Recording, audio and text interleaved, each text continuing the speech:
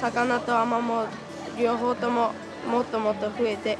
えー、綺麗な海になってほしいです。備前市日生町はアマモの再生活動発祥の地。この日は地元中学生らがアマモの回収作業を行いました。これがアマモの種で秋にまくために今回収していますアマモは魚の住処や産卵場所の役目を果たすなど海の生態系を支える重要な植物です。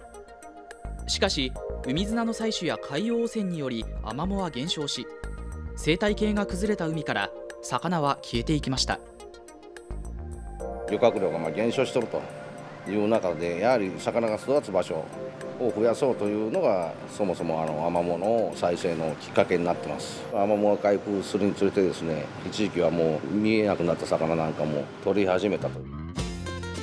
およそ30年漁業関係者の粘り強い努力で日生の海は生まれ変わろうとしています。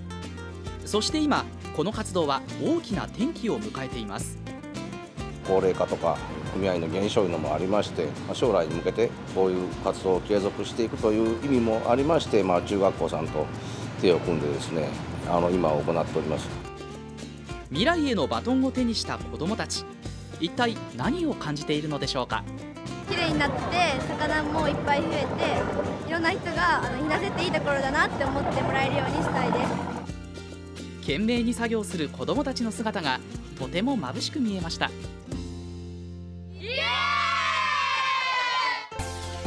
海は私たちにとってかけがえのない宝物。その素晴らしさを未来を担う子どもたちに伝えたい。海と日本プロジェクト in 岡山。